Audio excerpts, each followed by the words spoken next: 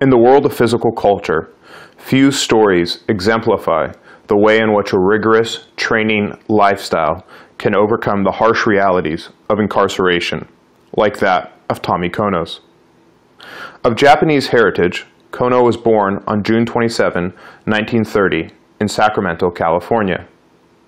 He would go on to medal in the three Olympics, win six consecutive World Weightlifting Championships, and set 26 world records, along with seven Olympic records.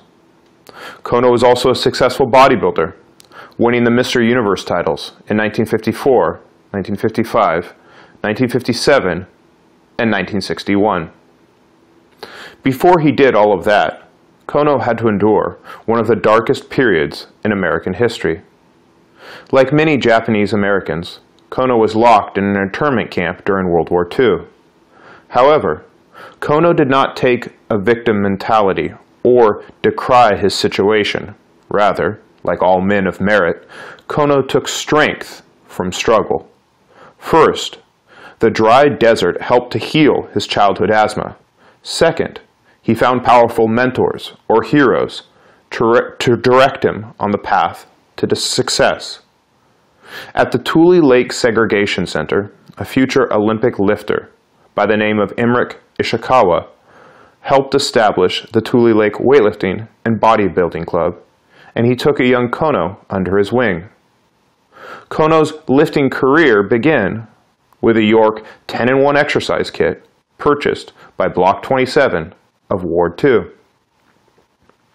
From these obscure beginnings, Kono became the only Olympic weightlifter in history to set world records in four different weight classes the lightweight class, the middleweight class, the light heavyweight class, and the middle heavyweight class. To attain this level of dominance, Kono maintained that the body does best with short workouts done two to three times a week with less rather than more exercises.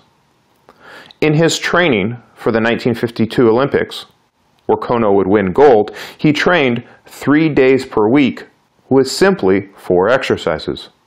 His routine was as follows. The press for eight sets of three, snatches for eight sets of three, cleans, six sets of one rep, squats, three sets of three reps.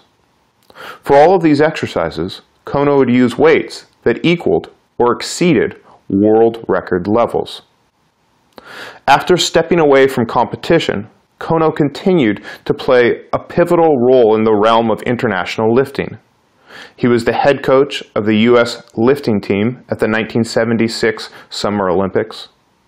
He was also a pioneer in lifting equipment. While competing in the 1960s, Kono came up with bands to support his knees during training sessions. Eventually, these bands extended to the elbows. Kono was also instrumental in Adidas developing their low-cut weightlifting shoes. Much of Kono's life in retirement was spent in his adopted home of Hawaii. In that North Pacific place of paradise, Kono is held as an elder statesman of the Iron community.